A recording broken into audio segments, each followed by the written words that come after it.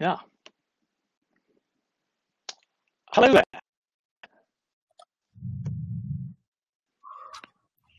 This is John Rentoul here. I can see everybody else. I don't know if they can see or hear me. Uh, oh, I can hear something. Um, look as if we're live, a bit glitchy. Uh, I think that's the uh, that's the technology of today. Um, so in that case, let's uh, let's kick off.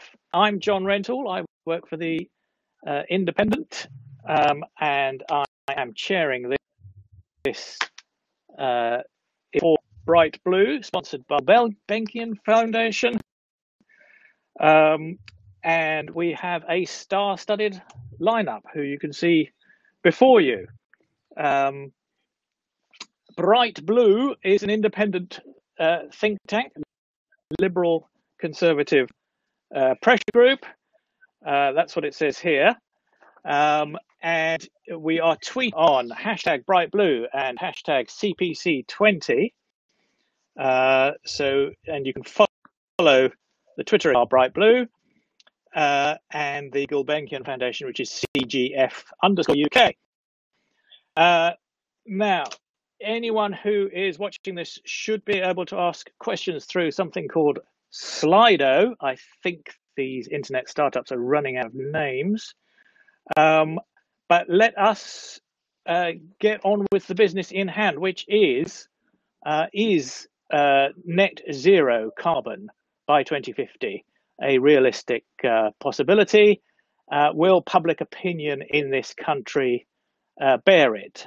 most people are broadly in favour of um, net zero, but do they actually understand the consequences in practice?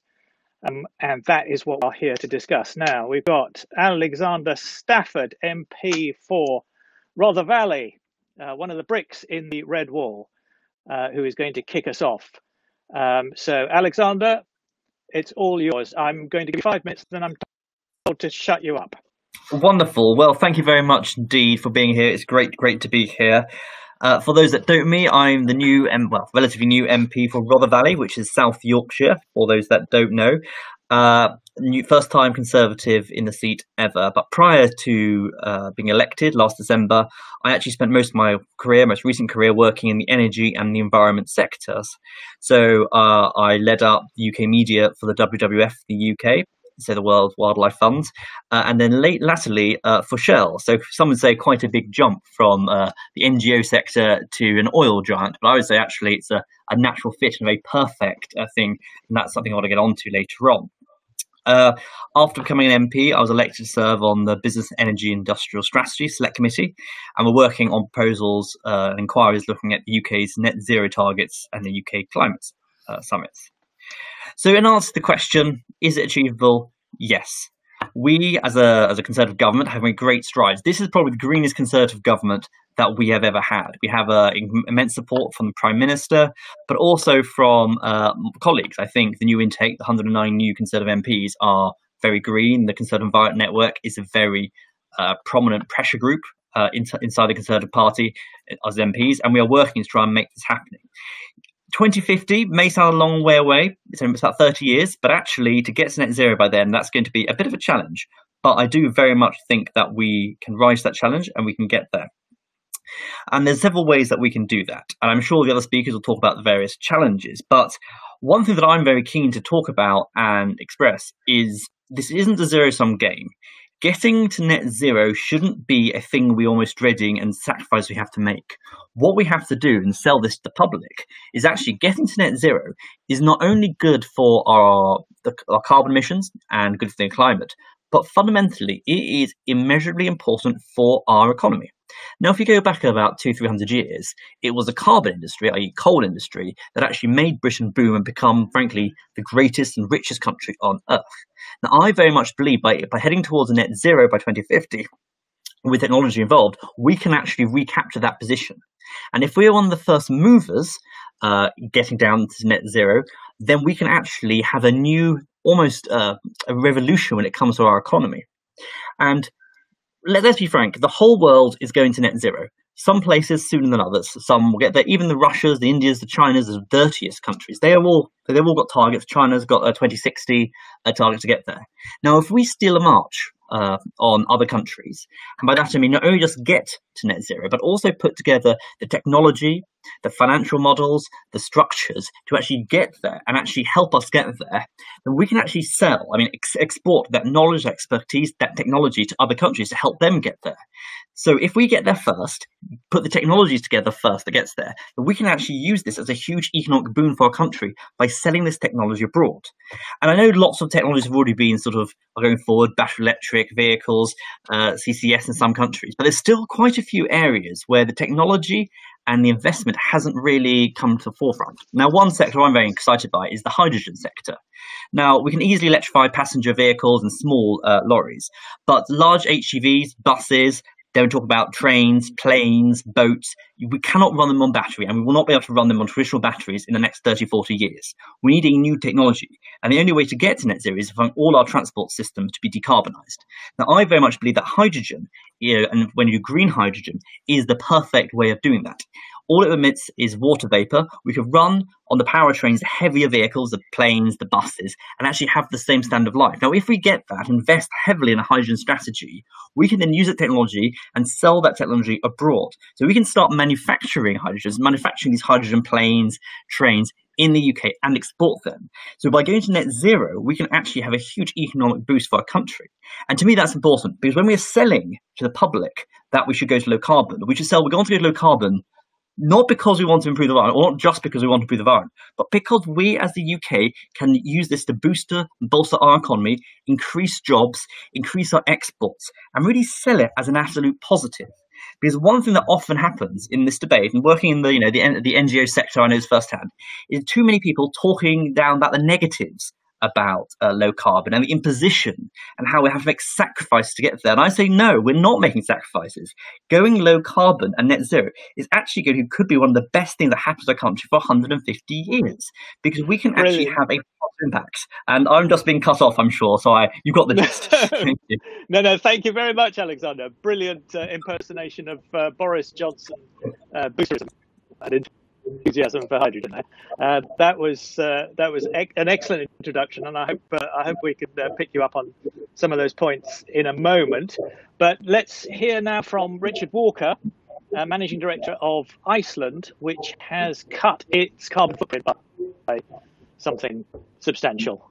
Uh, Richard, tell us about it. Hi there. Good afternoon, everyone. I hope you can hear me okay because um, it's very glitchy from my side. Um, but I'll keep talking until I'm told otherwise. Uh, yeah, so we um, we, we, like many other businesses have uh, have done uh, starting to do a great deal of work on on carbon, um, and we have a, a, similar target to a lot in our sector, which is to become net zero by 2042. We already have 100% renewable electricity. Um, we have invested in more efficient air conditioning, refrigeration, LED lighting, uh, vehicle efficiency, etc. Um, and we're also importantly looking now at a full life cycle analysis for our packaging, our own label packaging, uh, because that's often where the plastic debate uh, can get sidetracked. Um, so in totality, our scope one and two uh, carbon emissions are currently 46,000 tonnes. That's down from quarter of a million tonnes in 2011. And we've done that um, via saving money. So now my finance director is a, a, huge fan of net zero. Seems to make sense for him as well. Um, it, it's good for profitability in that we can reduce food waste, we can save money on LED lighting, or reducing cost. However, I'm still not happy with the state of play. I think we need to make much more effort in reducing carbon in totality. Uh, and I mean that as a business, but also as a nation. Um, our scope three emissions, we're nowhere with reducing, and it's exceptionally difficult for us uh, to go all the way up our supply chains and, and deal with those. I think the best way is through trade agreements and diplomatic solutions. Secondly, whilst as a nation our production has gone down, our consumption of carbon has gone up. And that's because we've offshored most of our emissions to China. So we need to stop kidding ourselves. The final thing I wanted to mention was the concept of what net zero actually is. Um, it's often based on CCS technology that barely exists today. Um, yet it's a big part of everyone's calculus, governments and businesses, in their net zero ambitions. So I think that whilst we need much faster emission reductions, and we can see that through the global shutdown of COVID, um, we've actually barely had enough emission reductions. If you look at the 7% that we need every year from now until 2030 to get to at least halfway to net zero. But we actually also need to find money as a government uh, to invest in CCS technology and also hydrogen and things like that, um, especially considering we've maxed out our nation's credit card on dealing with corona pandemic. So for me, and I say this as a free marketeer, I think probably the best way of doing so is to introduce a carbon tax. Um, but it needs to be one that is socially just. And the reason I think a carbon tax would work is because it would uh, not only change behavior, but it would raise money as well. Um, finally, you know, our customers, um, some of them only have uh, £25 a week perhaps to spend on food. So uh, re reducing carbon emissions is certainly not on their list of priorities. However, I would say that they're certainly fans of doing so, so long as it can be done in a solely just uh, zero cost way to them as consumers. Thank you. Brilliant. Thank you very much, Richard. Would you uh, would you say that you've uh, done the easy bit so far? Absolutely. Yeah, we've we've done we've done the easy which is about saving money, um, and therefore it's an easy win internally, but also externally to our customers. Um, and why you know, I think some sort of level playing field via carbon taxation, but also uh, whatever diplomatic trade arrangements we have is probably the only way we're then going to progress to the hard yards in terms of going that extra mile to scope three. Brilliant. Okay, well, look, we'll we'll cut to that. Um, I'm sure there'll be there'll be questions. Uh, now, Rachel Wolf, um, the you look as if you've frozen on my screen but uh, I'm hoping you're oh you're still alive. Good, excellent. That's okay. brilliant. Um, do you you manifesto famously? So tell us uh, tell us how you think this is going to work out over the next five years. Um, so the first thing I should say is that I feel very bad after um, the first incredibly uplifting speech for injecting a little bit more um, concern about how we kind of get to net zero from here. And, and the reason for that concern is that while I think um, that vision outlined of getting to a new future with new technologies which gain all sorts of advantages for the UK in terms of competition may well be true, I think we also have to recognize two things are going to have to happen on the route to that. Um, the first is very, very substantial transition costs. The, the, reason people use fossil fuels is not because they're ideologically attached to them, but because they're cheaper. Um, and in switching to other alternatives across every sector right now, um, then that creates some transition costs, which is why things like carbon pricing are so important because they start to level the cost between different options. The second is because it requires people to change what they do. Um, and right now, people are quite uncertain about whether they want to use um, a heat pump intend, instead of a gas boiler or change their car. Um, and so you have to persuade people to change very substantially across all of the things they do, what their life looks like. Um, I think that's achievable, but I think in order to um, get there, we need to understand really where the public are right now. Bright Blue's just published, I think, a very interesting report on this, but let me talk about the focus groups and polling that I've done recently on this issue and what I think it means.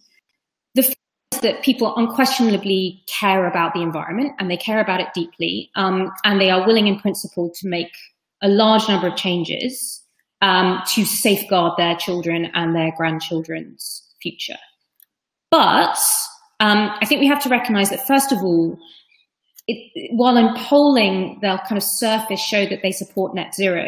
A lot of people have never heard the term, and if they do hear the term, they don't know what it means. There's a lot of confusion between yeah. what is air quality, what is plastics, what is emissions. This is starting from a very, very low information base. I think the second thing to understand is that there are some quite core conditions required to maintain public consent. Um, the first is people are understandably very impatient of regulation or charges when there aren't credible, easy uh, alternatives for them to switch to. So household heating would be a really obvious example where until we know whether uh, we want people to go to hydrogen in their pipes or heat pumps or something else, people are quite impatient of their gas bills going up until those kind of credible alternatives exist. The second, which I think again will probably not surprise everyone, is they want it to be fair. And fair means two things. The first is that everyone is bearing a burden. I think I'll come back to this in a bit, but one of the reasons I think carbon pricing is one of the more um, credible policies in terms of maintaining public consent is that it shows that everyone is kind of paying their part. And the third, which was just mentioned, is that no one is bearing unbearable costs which probably brings us to COVID because we are making decisions about what we do in net zero in the midst of um, recovering or starting to recover from the pandemic, which is that with every month that passes, every week that passes, concerns about the economy are rising and people's concerns about their own costs are rising as well.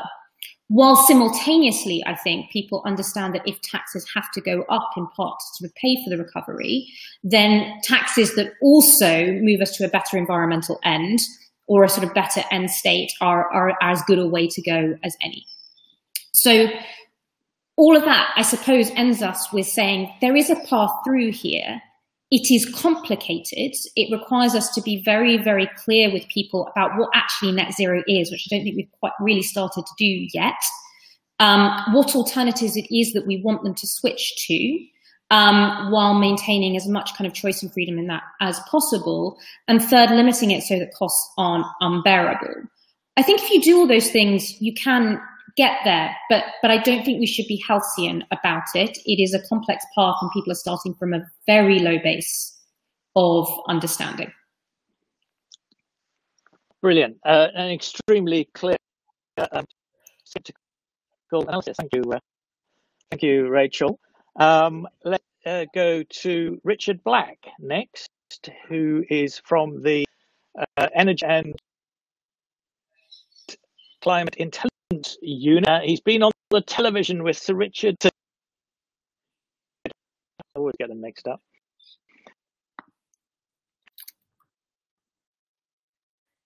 How to some of Rachel's points?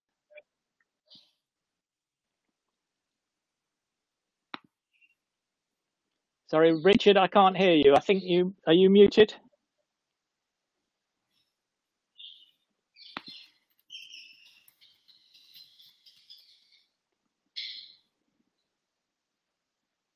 Uh, I still can't hear you.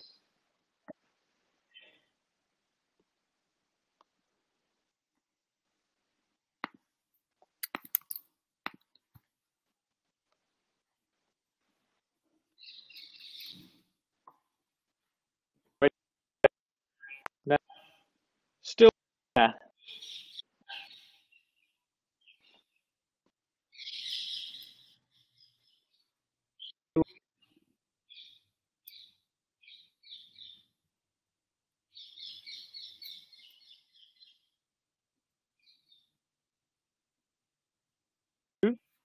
uh, and you've issued this this report uh, on public attitudes to, uh, to net zero.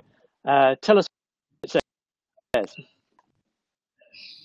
Um, yes, hello. Um, um, uh, as I mentioned, we recently published a report called Going Greener just yesterday about a lot of I'm the stuff any, on any sound from Anvar either. Um, sorry about this. Uh, Hello? Can you hear me now? Hello? I can hear you, Anvar. You can. All right. Um, so just to restart. So we yesterday have published a report going greener very much on about public attitude to net zero, about the credibility of achieving it, and how the public thinks about responsibility, and about the various policy dimensions. And I think I'm going to echo quite a bit of what Rachel said, actually. Um, I, th- I, think she had very much similar points around kind of I think the kind of key theme I kind of want to pick up on is that environment is it's not a partisan issue, and I think that's kind of like the beauty of it. It's a very divided political landscape that we're in. There's a lot that people across age, education, party, party vote, Brexit lines agree on, on environment. So there's there's a lot of potential there to do to action. You know, talk quite a bit about that. Um, I think what's important to recognize is that public is quite skeptical about achieving net zero greenhouse gas emissions by 2050, around almost 60%. I think it's unlikely. But at the same time, the public does think we are all responsible for it. The government, the businesses, the businesses, big and small, the public and individuals themselves are all seen as very responsible for contributing to action. So there's definitely, a, as Rachel's pointed out, a lot of will for achieving for, for achieving this. Um, and to pick up on this kind of like partisan existence of non-partisan divides, you have issues, for example, eating, eating less meat is like a small individual action that individuals can do to, help. And even though it's sometimes sprung as a culture war, actually we, we find that almost half of, of Tory voters either support either support the idea or have already started doing, um, have already started cutting their meat intake to contribute to that action. So even on that quite controversial issue, there's quite a bit of support from of society where you wouldn't expect it to. And there's the same on something like carbon tax, for example. Carbon tax is, is supported by about 45% of, of Tory voters, a very substantial amount considering we're, we're talking about a tax increase, um, a pretty general tax increase. Now, of course, carbon tax is quite and, it, and popularity will depend quite a lot on how it's allocated and who, to which degree people are paying for it. But there's definitely a lot of a lot of will for that kind of broad and quite ambitious action parts of society where you wouldn't necessarily expect it. But there are concerns, and the concerns around price and how it would affect them, how, it affect individuals and the public is again quite willing for the government to step in and to provide support. So, for example, there's very high support for providing subsidies uh, for low income families or for small businesses. It takes the kind of action that's needed to reach net zero, such as heating systems, installing installation, that kind of stuff. So, even though there's concerns on price, there's definitely a lot of support for government coming in and helping out with, that, with those issues. Going to be expanding this kind of a lot of issues around energy and residential heating. I think what I want to recognize that there's definitely lack of information on specific heat and heating systems is one prime example of this.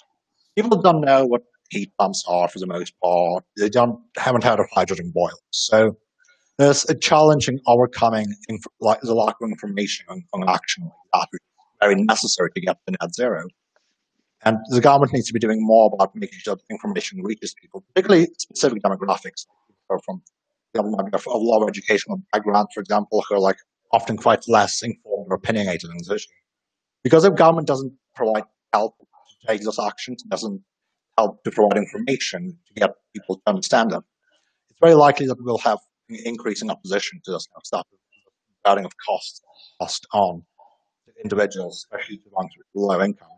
So there's lots of good and positive stuff in public opinion. There's lots of will to help achieve net zero and to take action.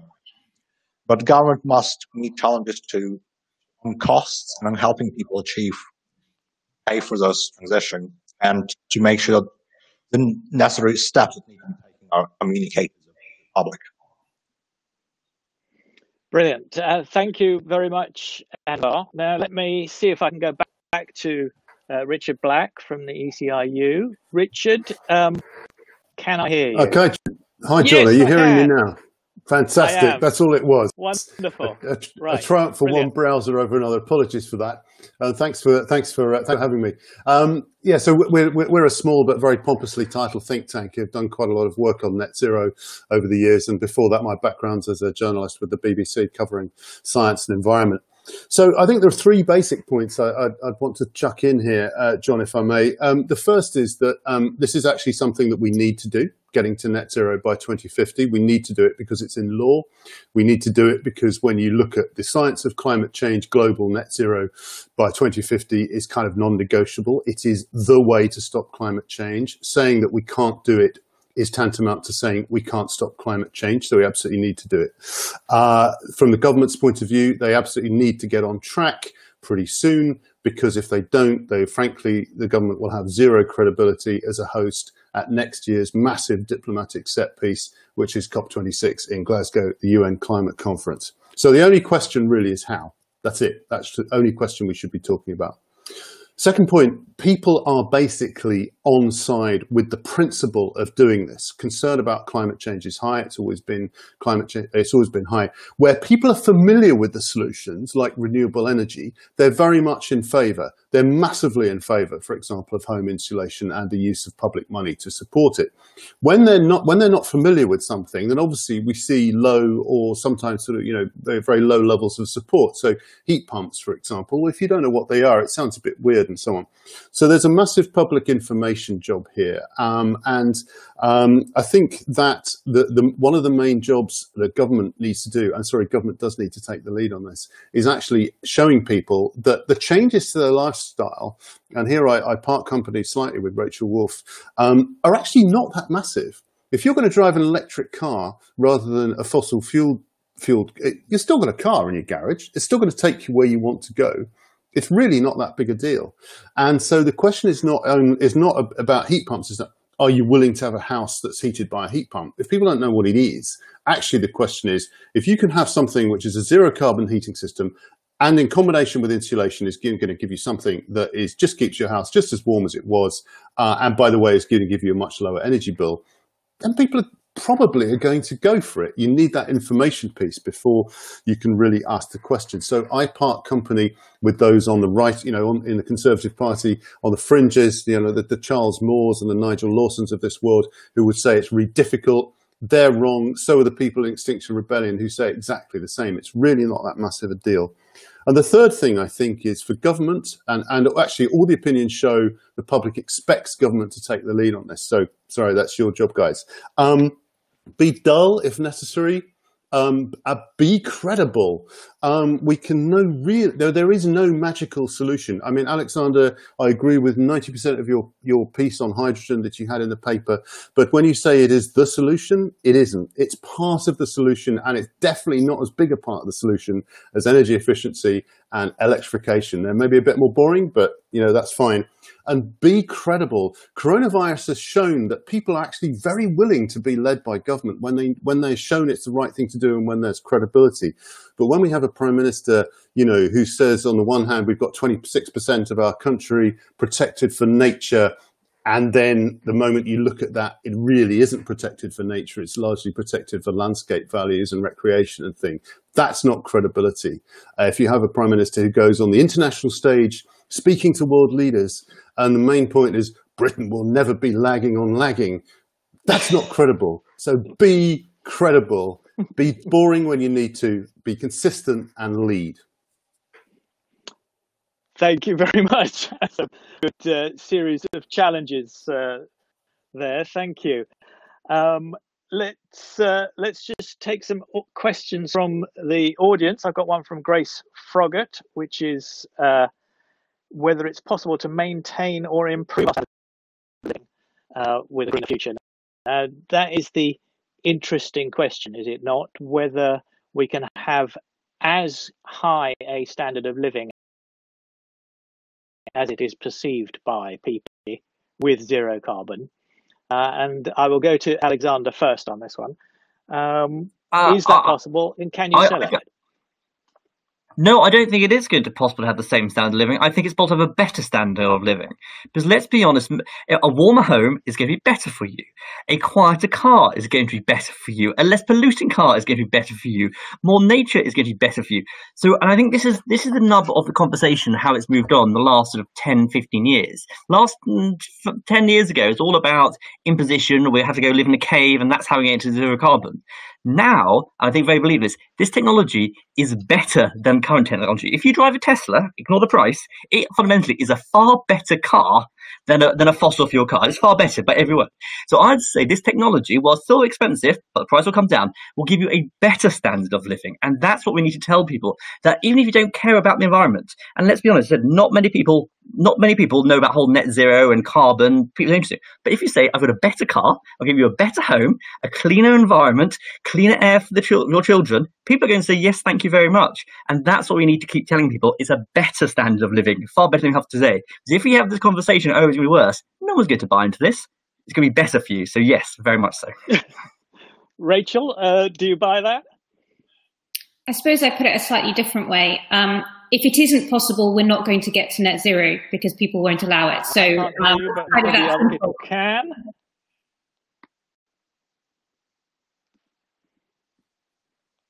Oh, did you hear me?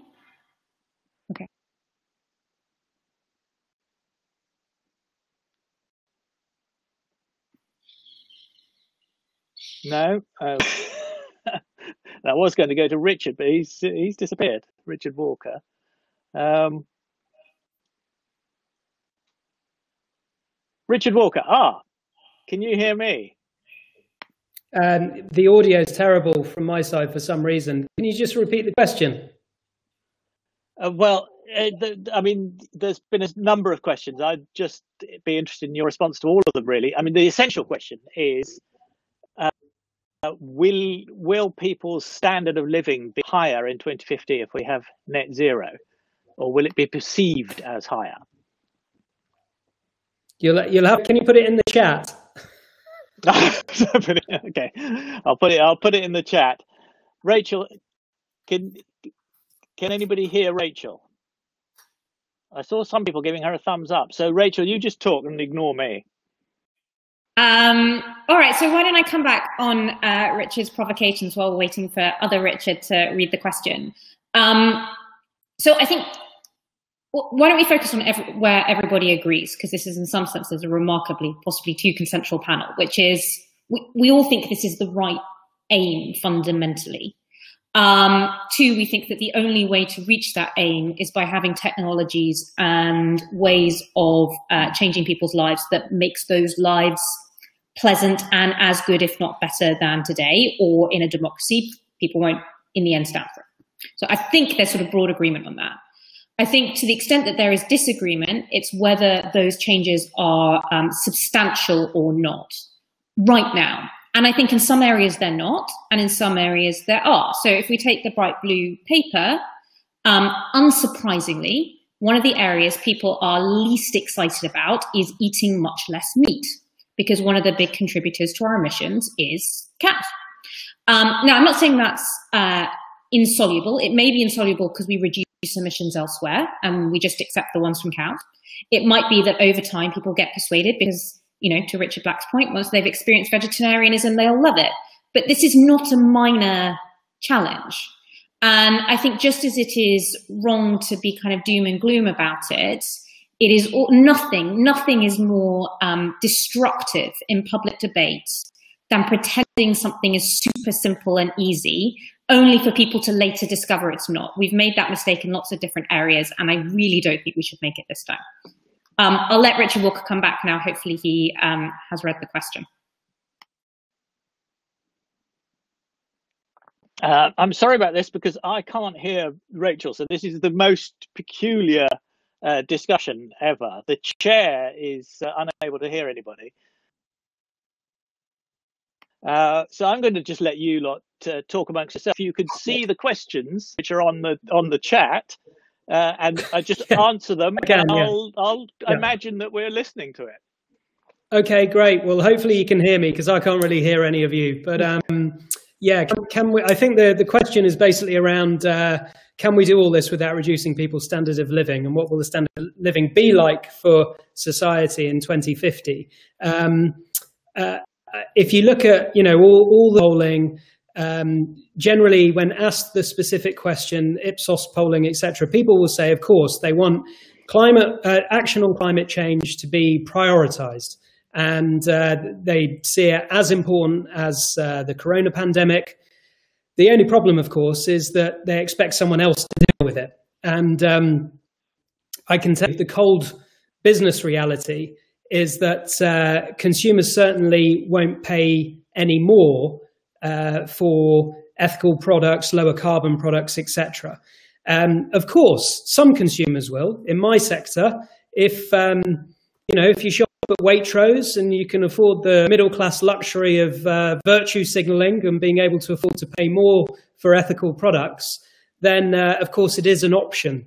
Uh, but for the vast majority of society, of course, it, it's simply uh, not possible. So I think we have to um, be, be very open and clear about that. And that's not pessimistic, that's just being realistic. Um, I also don't think we'll win the debate by telling people what not to do. You can't eat meat, um, you can't go on holiday, etc.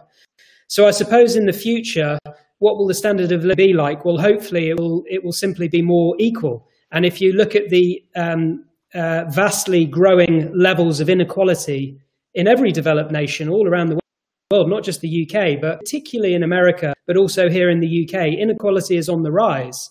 Um, so, of course, I think the answer to who pays for it and what will the standard of being uh, result in, um, it, it, will have to come from uh, richer people, from higher consumers, from people like me, effectively. Um, so we need to kind of iron out uh, some of this inequality to enable the transition that we need to a lower carbon future. Hopefully, you heard uh, of that. I did. Uh, that was brilliant, and uh, it was very good. Um, but I need to take some more questions from from the audience. Emma Wade, uh, let me put this question to you, Anvar. Emma Wade says, "Is it possible to clean up aviation while continuing to encourage fly? Uh, what what if people continue to want to travel overseas?" I mean, I, mean, I, I think what kind of like Rachel's point that I bet is that people, a lot of people will not be happy with kind of like lowering the, the standard of living, kind of like giving up on holidays and things like that themselves. But and any kind of government action to attempt to increase prices to kind of like force people to buy less is really unpopular. Um, so it, it is very much about kind of like getting the technological change to, to, to get us there potentially there's obviously a sort of there's always, of course, some kind of technology development that exists. So, for example, kind of like hydrogen fuel planes so being kind of discussed about it very early kind of stage idea. I I think. Um, so I think I think it is very much about getting the technology together because consumers themselves won't make the change. Uh, primarily won't make the change. Uh, okay, brilliant. I've got another question from a Richard Watts, which I shall put to Richard Black. Uh, it's all the Richards today. Uh, Richard Watts says, "Is it really possible to change systems in 35 million homes uh, between now and 2035?" I'm not quite sure what the 2035 date is, but I'm sure you will, Rich. um, well, it, they don't all have to be changed by 2035, but um, it, by, by 2050 is, is probably more realistic. Is it feasible? Yes, it is. I mean, on average, a, Br- a, British person changes their gas boiler every 15 years. That's the average lifetime of a gas boiler, and 80% of our houses roughly are heated by gas boilers. Now, changing a heating system for a heat pump is a bit more complex than changing your boiler. Changing to a hydrogen boiler probably isn't much more complex. So, in principle, you're simply talking about doing replacement at the same kind of rate, but just replacing it with a different thing. But the key thing, of course, is to get started on that early, because if this is what you're going to do, you can't then wait till 2049 and say we've got to replace them. You have to get up, get on with it now, and do what you can now. Do the no-brainers now. If you, if you don't mind, I'd just like to come back on a couple of other points, if I if I may, John. Um, just is it possible? Yes, we need to look at the evidence of history here, and you know, since the Rio Earth Summit in '92, the UK economy has expanded by something like 70% and we've almost halved our emissions. There were people in 1992 who said it couldn't be done. They said the lights would go out, it would ruin the economy. Didn't happen. There were people when the Climate Change Act came into force in 2008 who said it won't work, uh, industry will flee the country, the lights will go out. It didn't happen. We have to learn from history here. The meat thing, Committee on Climate Change talks about not ending meat. I mean, that's ridiculous, mass, mass veganism, but about a 20% reduction in eating of red meats and so on from here in 2050. That's basically in line with what, what people are doing anyway. That's the way diets are changing anyway. And one angle that hasn't been explored half enough in this, in this issue, for my mind, is switching meats, because actually it's beef and lamb that are the really high end meats. If you, if everyone, for example, you know, replaced a lot of their beef and lamb with pork and, and, and chicken and so on, that would actually get you quite a long, a, a, a long way there. Just the third other point is that this is not a uniquely British thing. It's an international issue, the move to net zero. And the EU and China have just brokered quite a very important diplomatic deal that will probably see both of them, giant blocks, moving towards net zero around mid-century. Britain is not going to win by being out of step with that.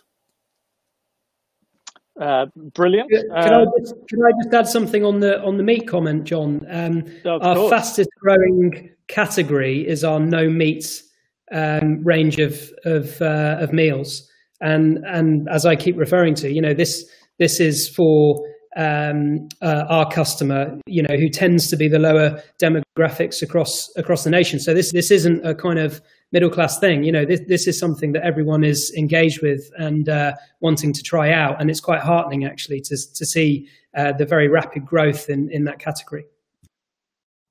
I can I just jump again?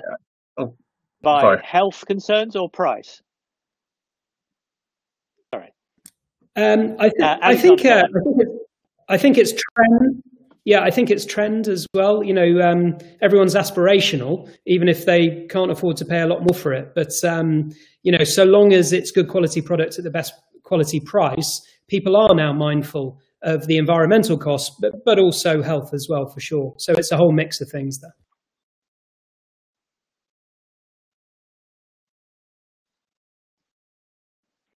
Alex wanted to come in.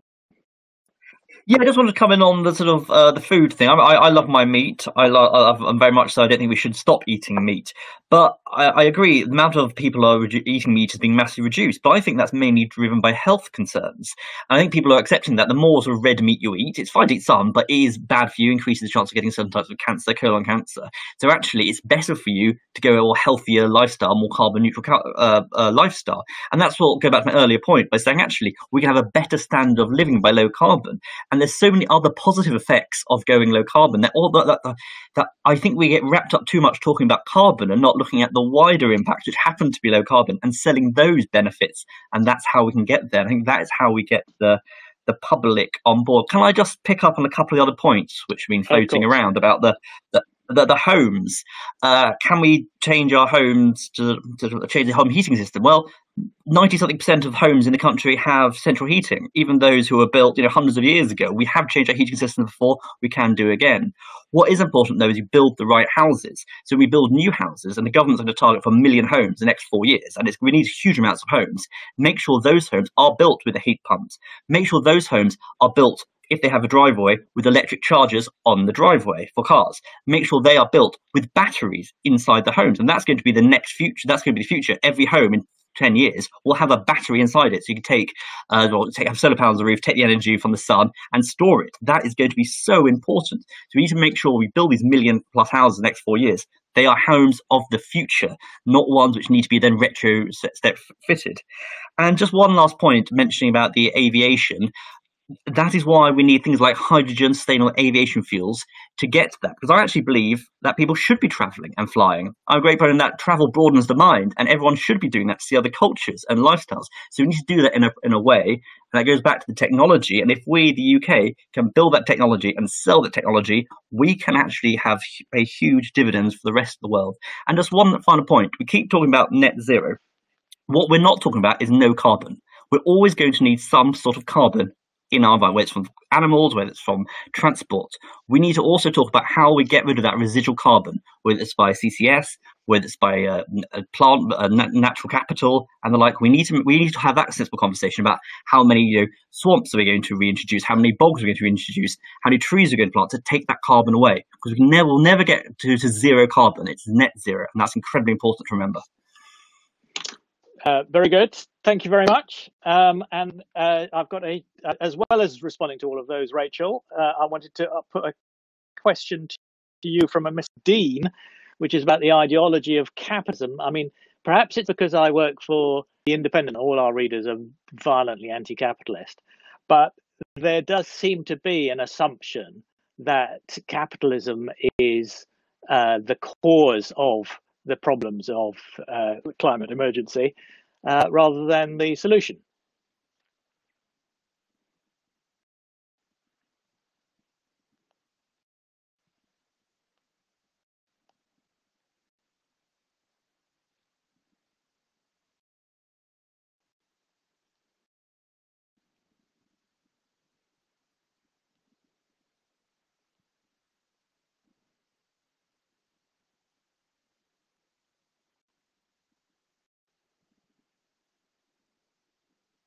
Oh, sorry, Rachel.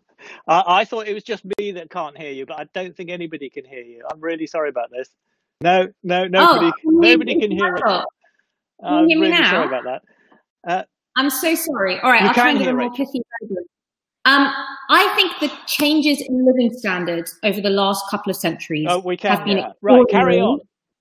and wonderful. Right, like my life would have been, by comparison, miserable 200 years ago. And we should be extremely thankful that we escaped the Malthusian trap and we've been able to grow the population and live um, successful lives free of hunger and uh, terror for our children's um, future. So, so no, I do not think that we should feel that this has been a terrible outcome.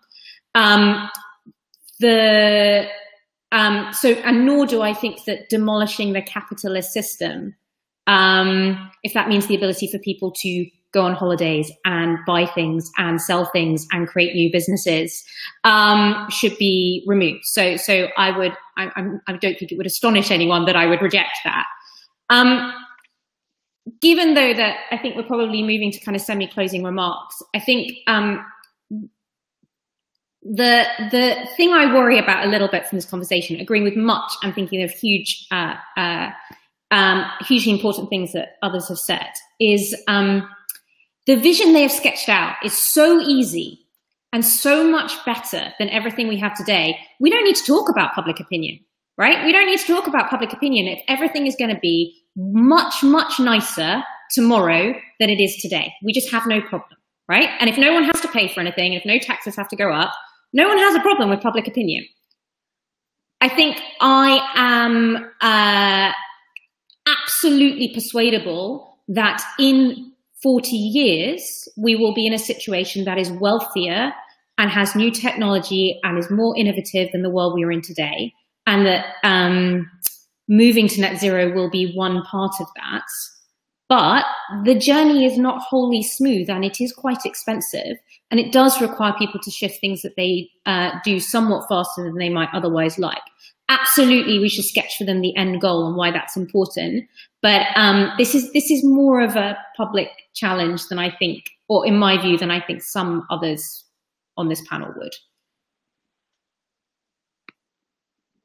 Um, as chair, I, I, couldn't hear any of that. I'm sure it was absolutely marvelous. I'm hoping to catch up later. But Anvar, it looks as if you want to speak. Fire away. Um, yes, this kind of picks up on the, on the capitalism point, is that the potential of environment to become a, a very controversial and bloody political arena is actually probably quite high. I mean, you see, you're seeing with things like Extinction Rebellion, potentially like flashpoint of, of, a culture war around that, and I think that's kind of like a very significant threat in that regard because if if things become like eating less meat becomes very or kind of like aggressive action on environmental change becomes a very massive part of the green agenda, particularly on, on the left, then it could potentially polarize polarize the electorate. And it, because I think UK and like some other Western countries, the, the, the conservatives have gotten, gotten a realistic assessment of the situation environment and what needs to be done. But but so the, I think there's less of a risk of a backslide on the side of the conservatives, like have in the US. I think the risk, but the risk of a culture more emerging as kind of one side polarizes and then another side polarizes and responds quite high. So it, it it's important for, for policymakers and for both sides, I think, to, to avoid that kind of stuff from happening as, as changes and sometimes changes need to be implemented. Uh, thank you. Very interesting point. I mean, Richard Black, do you want to comment on that? You you made some passing remark about how Extinction Rebellion were like the right wing climate change deniers.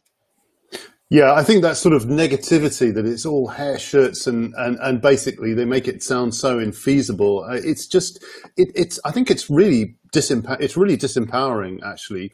And I think this is a, this is a non-quantified statement, but I think that this is achieved much easier if people feel that they have agency and they have choices and they, and they want to do it. Um, just a couple, couple of other things I, I wanted to uh, come, come back on. I mean, I appreciate, Rachel, your sort of concern about the cost of everything, but I just think it's absolutely fundamentally untrue that people were are, are always reluctant to spend their money on anything. Always reluctant, they always buy the kind of cheapest of everything. They don't. We all make choices in our own lives to buy things that are not necessarily the cheapest. People will absolutely wear a bit more taxation or a bit of a higher bill, provided they know what it's for and it's for something that they believe in. And I just want to come back to the other point, one of the points I made at the beginning, that if you conclude that net zero is not possible, then you are concluding that we are not going to stop climate change. You are basically willing to usher in a world where basically temperatures keep rising, extreme weather impacts keep rising, um, societies are displaced, are displaced, etc., etc. You know the picture. So the question, really, to my mind, isn't whether it's feasible. It's basically what actually has to be done to make it feasible. Very fair point. Um, Alexander, do you want to come back on any of that? Yeah, just sort of, I completely agree. Hallelujah, Richard, about uh, Extinction Rebellion. I think they are the worst. I say they're worse than the right wing of the uh, of the Conservative Party, the climate change or, or any climate change deniers, because at least climate change deniers we can just say are being silly. Whereas Extinction Rebellion, I understand the point they're trying to make, but they are frankly damaging the argument. So I completely agree. They are the worst, worst offenders. Uh, back to sort of Rachel's point. Uh, I don't think there's going to be that huge cost in the sense that there's going to be a cost, but I still go back to thinking the, the majority of the public like saying, oh, yes, we want low carbon, but they don't really understand it, but they can understand their lives getting better and technology. If you go back 10 years, 15 years, 20 years with the internet technology, things have moved on so rapidly and they'll keep going, moving on forward. So I can't see there being this huge uh, cost to anything because, as Richard said, there's going to be a cost of not doing anything. And we have to factor that in because, you know, with temperatures rising and some sea levels rising, there's going to be high pressure on crops and water. So things, so natural prices are going to rise anyway. So that's sort of, so some of those price rises, which will happen, of course, were going to be negated by the, the, the price rises of doing nothing anyway. But then if you're selling this idea, and we are selling idea of a better future, and, and, and everyone get back behind that, even the climate change deniers will want better technology and cleaner technology, regardless of whether they believe in the, the sort of the ideology behind it. We want to take the sort of science, we want to take some of the sort of mysticism out of it, just say things are going to get better if you invest in this, if you buy new uh, products, new technology, and that can move things forward. And I also agree with Richard, people are willing to pay uh, more money in certain ways. You know, look at mobile phones. Mobile phones now are far more expensive than they were a few years ago. People change them every two years but they are so much better than a couple of years ago. But people are willing to pay more money for better technology, better product. And that is what we have to keep coming back to, is engaging the public because of, of what they actually care about. And what they care about is their better life rather than, frankly, banging on about anything green, environmental, carbon. If we can lose those three words from our diction, green, environment, and carbon, we will get there a lot quicker, I believe, because we can talk about it, but we don't necessarily need the public to talk about it. We want to bamboozle them. We just want to say things are going to get better. And that's what Things can only get better, Alexander. Great slogan. You should you should adopt that in politics. Uh, let's go over to Richard Walker just for a final word about customers paying uh, more for things. Uh, well, they won't. Um, that's a fact. But uh, I, have had a few sound issues through this. But one, one of the questions I heard was around capitalism and is that to blame? And I think this is all obviously related. But um, I, I, don't think we need to change capitalism, but we do need to change how we do capitalism. And um, it, it's clear that one very damaging assumption is uh, the the continual quest for perpetual growth on a on a finite planet. Um, Kate Raworth has, has written an excellent book called Doughnut Economics, which you, you may have read. Um, but uh, in it, you know, she talks about how we need to be a bit more agnostic about growth and, and really pursue economies that, that make us thrive, whether or not they grow. Um, now, whilst that may all sound a bit pie in the sky, I, I do actually think it's um, it's starting to happen, and there are countries now around the world, such as uh, New Zealand, that are putting well-being budgets ahead of uh, GDP growth as the primary metric of success. Because I think by uh, endlessly pursuing growth for the sake of growth, um, it, it, can lead to very bad um, outcomes, particularly for developed economies uh, like the West. Uh, very good. I think we've got time for the final round of, of questions. Although we've got a bit of a bit of extra time. Um, I'm afraid I don't fully understand this question, but there's a question from Martin Higgins. How are the national grid's aging power stations going to cope uh, as the country progresses to battery powered transportation? Does anybody want to take that question on? or do, uh, Rachel, do you want to respond to uh, any of the things that we've heard so far? Well, I think Alex did want to come back on that question, so I should let him probably. Just very briefly, uh, and I go back to uh, Richard mentioned article written. I hate banging on about hydrogen. Electric electric vehicles are one solution but they're not the only solution. Hydrogen is another option for the for the heavy duty. So we, so we need to have a range of fuels for different sort of transport. We need to have that variety. But clearly, we do need to upgrade our, our networks. Clearly, if we want a more electrified future, we will need to, as a country, need to invest in that. But that's no different to any other critical infrastructure, sort of building, you know, roads or airplanes or airport airports or or ports. We need to, critical infrastructure, so we need to upgrade uh, our networks. Clearly. Okay, I got one final question from someone called William. Is battery technology a limiting factor in reaching net zero? Richard Black. It doesn't have to be. Uh, and I think the answer to this is tied in with the previous question as well. And the key is really uh, the system. It's transforming transforming the system in line with what net zero demands. Um, and I think, you know, offshore wind power has been an amazing success story in the UK. Basically, government put in support and at the right time established a market mechanism. You now have real competition. Prices went down through the floor. So it's basically setting the market up with the right kind of regulation that's going to provide what you need. So networks have to be strengthened. Incentives have to be there for people to provide batteries and also what's called demand response so are people willing to turn things off when they don't need them uh, at times of, of, high demand? More interconnectors between countries, so you share electricity. All this stuff's well understood. There's probably uh, something that needs to be done with Ofgem, so that part of their sort of formal purpose is to deliver the grid of the future. But if that's done in a sensible way, then there's absolutely no reason why it can't be done. There's a very interesting study, oh, 15 years old now, in Germany, showing that actually you could do the whole of German power system with 100% renewables, provided you have everything else in place. Fantastic. Okay, I'll uh, put a one one last question for a one sentence answer from all of you, uh, which is from uh, Mike Goodman. How can we educate the population to understand uh, net zero? Uh, Anvar. Um, advertise and provide subsidies for a lot of the transitions you need, for a lot of the changes you need, basically. Okay, very good. Rachel? Um, we haven't actually talked about it that much for something this big. Um, we haven't told people what they we want them to switch to. So I think those would be um, pretty major first steps. Well, I hope everybody could hear that because because uh, I couldn't. Uh, Richard Walker. Can you can you repeat the question? Last word. Uh, about educating, how do you educate people to understand the concept of net zero? Well, um, you need to make it relevant to them. Um, this this isn't necessarily net zero, but with regards to something complicated. Like, oh.